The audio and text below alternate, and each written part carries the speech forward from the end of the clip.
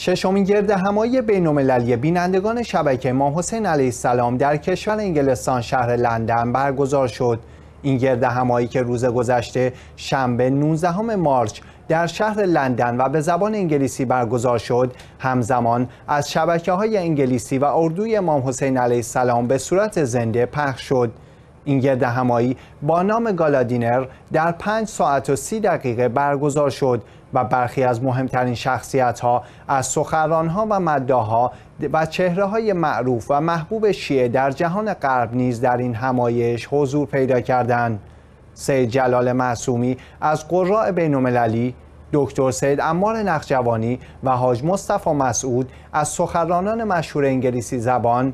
میر حسن میر از محبوب ترین مداهان اردو زبان و ملا علی فاضل مداح محبوب انگلیسی زبان در جمع بینندگان شبکه امام حسین علیه السلام حضور یافتند. هدف از برگزاری این گرد همایی جمعآوری نزورات و هدایای مردمی برای حمایت, حمایت مالی از فعالیت مجموعه رسانی امام حسین علیه السلام بود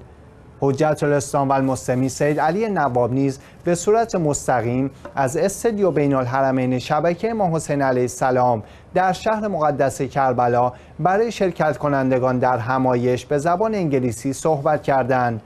لازم به ذکر است پنج گرد همایی قبل در کشورهای آلمان، کانادا و سوئد برگزار شده است.